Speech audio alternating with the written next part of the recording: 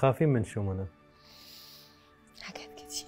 قوي لا بخاف بجد من حاجات كتير. آه، حاجات يعني ماليش دخل بيها يعني.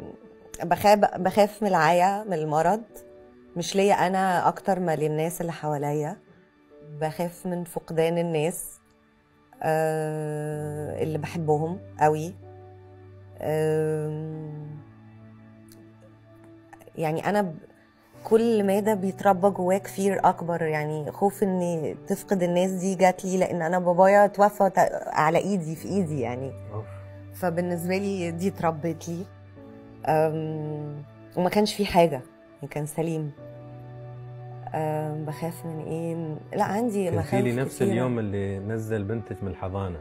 آه آه. لا هو رجعها ودخلها أوضتها وقعد على الكرسي و... وبس.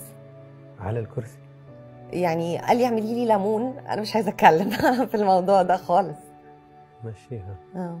الله يرحمه. الله يرحمه. بس.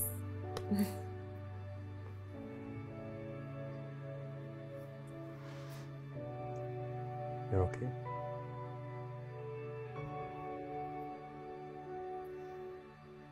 مم. أصعب موقف في حياتك للحين؟ هو ده.